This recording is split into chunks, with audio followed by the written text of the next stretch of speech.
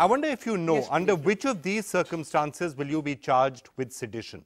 Legally, are you guilty of sedition for calling a leader or a politician a traitor?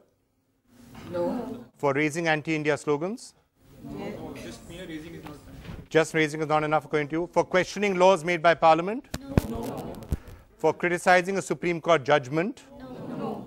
For questioning uh, the means and methods of the founding fathers of the nation? No. For complaining about the state of the nation? No. For calling to form another country? Yes. Yes. That's sedition. Yes. All right, Mr. Dhawan, if you could answer, which of these, if any of them, is sedition as per the law? I think, I think by and large, your audience is wiser than Chief Commissioner Bassi. Almost none of this, almost none of this amounts to sedition.